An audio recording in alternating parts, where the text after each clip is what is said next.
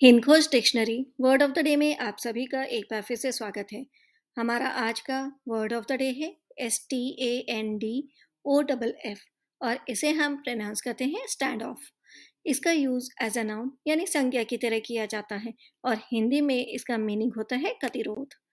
English में इसकी definition होती है a situation in which agreement in an argument does not seem possible आइए जानते हैं स्टैंड ऑफ़ वर्ड के सिनेम्स जो हो सकते हैं डेडलॉक इम्पास स्टेलमेट या स्टैंड स्टिल सिनेम्स के बाद जानते हैं इस वर्ड के एंटोनिम्स जो हो सकते हैं एग्रीमेंट ब्रेक थ्रू प्रोग्रेस या एडवांस सिनेम्स और एंटेनिम्स के बाद जानते हैं कि सेंटेंस में आप स्टैंड ऑफ़ वर्ड का यूज़ किस तरह से करेंगे।